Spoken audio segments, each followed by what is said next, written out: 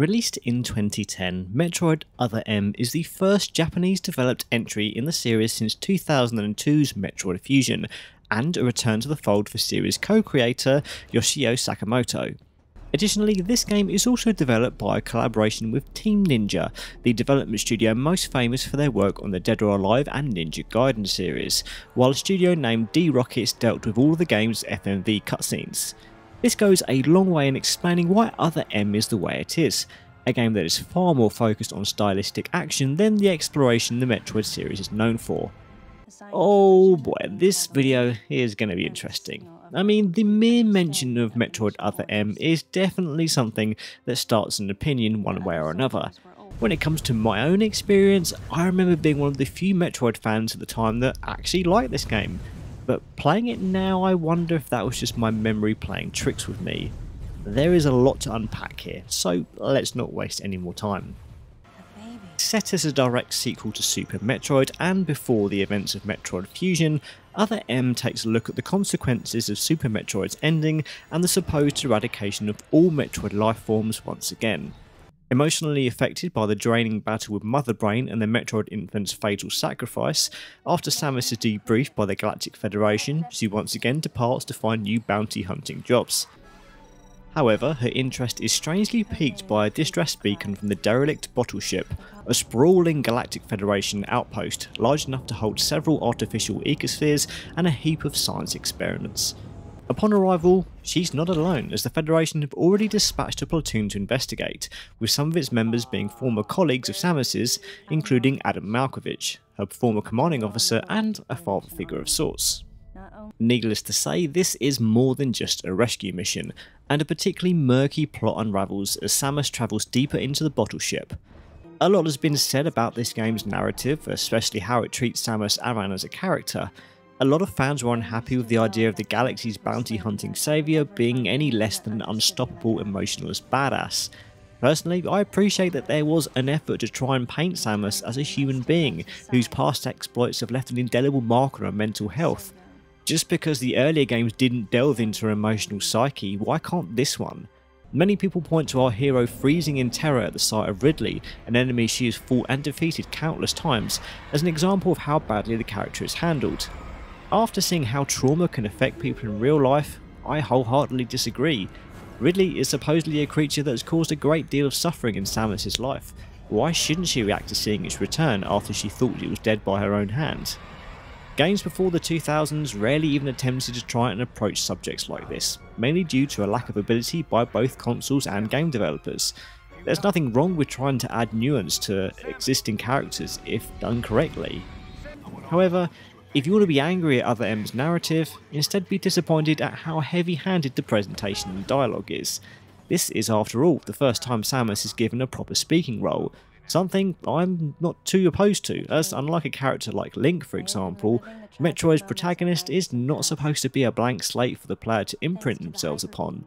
Unfortunately, the lifeless voice acting doesn't work for the character at all and comes at a detriment to Other M. Supposedly that's due to Sakamoto directing the dialogue recording sessions himself, even though he doesn't speak English. A lot has been written about the disparity between the English language version of Other M compared to the original Japanese one, but I'd direct you to Lexicon Lookout's lengthy video on the subject for a better explanation of the localization shortcomings suffered by this game.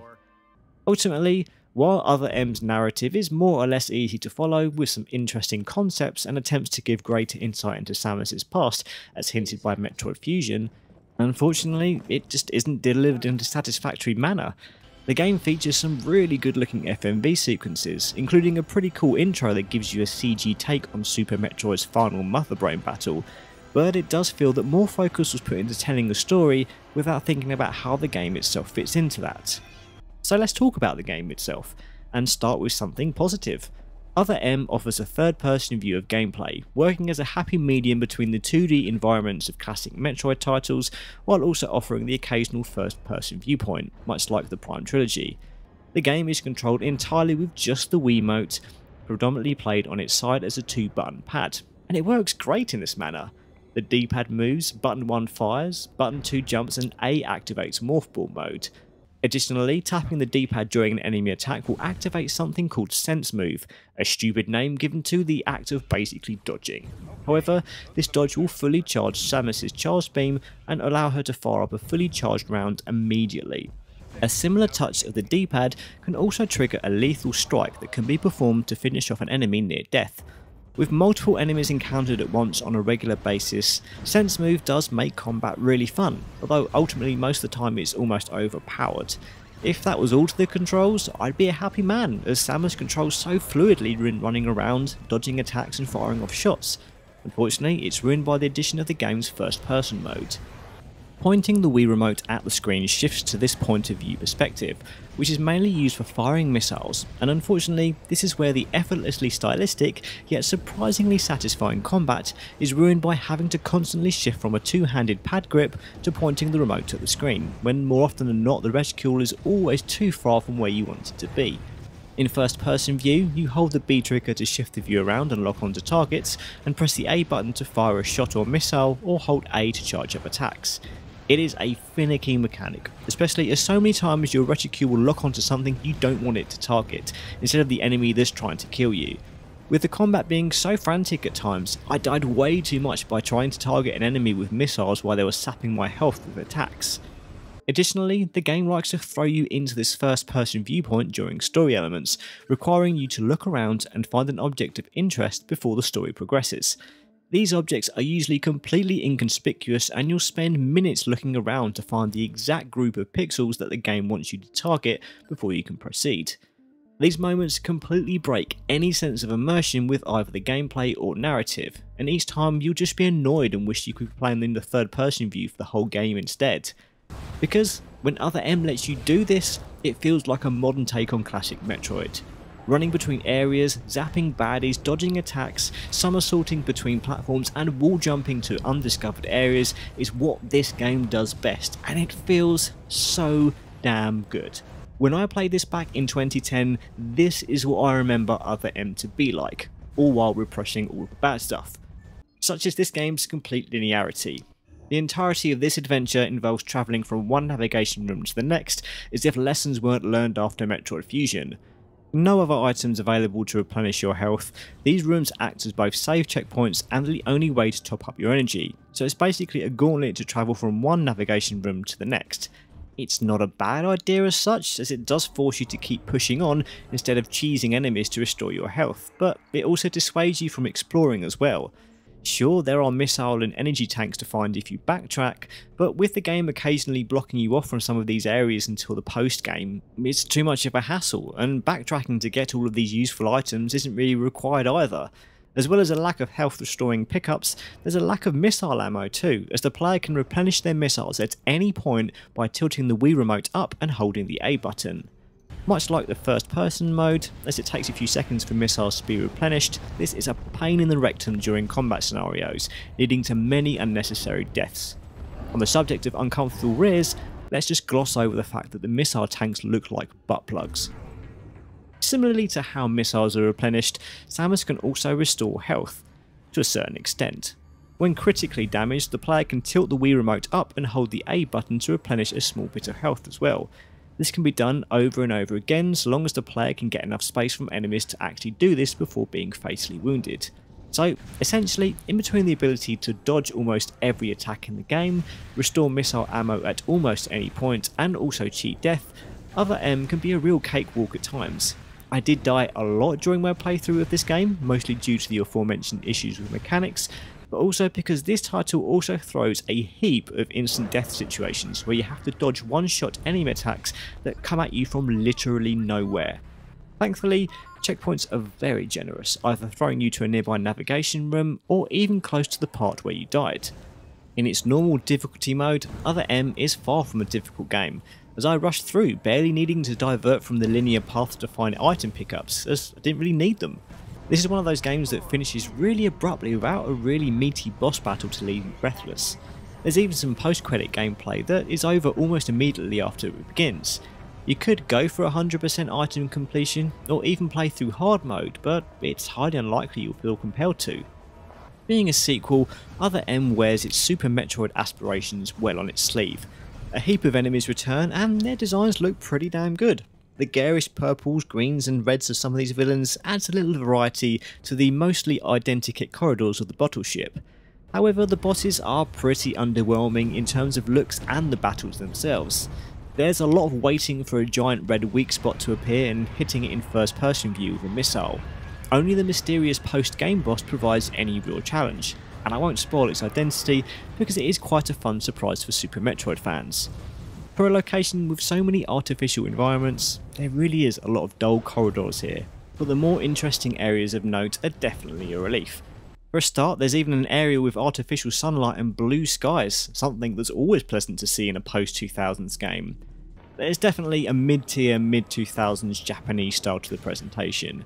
I'm getting a real Metal Gear Solid 2 feel from the menus for some reason, and from the cutscene choreographing too as it happens.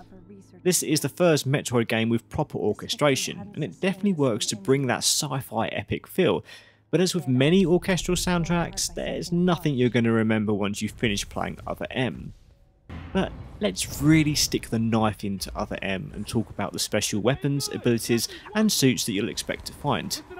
Not much. It seems from aside from a couple of items, Samus already has the lion's share of weapons and abilities you'd expect her to. She's just not allowed to use them. That's right, but because Samus is playing the good soldier in Other M, she can't use some of the more useful tools in her arsenal until her former commanding officer, Adam, says so. When you're looking around in first person mode, you'll see objects that will tell you that it requires items like super missiles, grapple beams or speed boosts to break through, and the game categorically says that you have these abilities, but you're just not allowed to use them. At various points in the game, there'll be some need to use them, and then Adam says you can use it, and then there it is in your inventory. For some items, that kind of makes sense. The power bombs are withheld from you for almost the entirety of the game for fears of collateral damage. I don't have a problem with that, as that's actually pretty logical.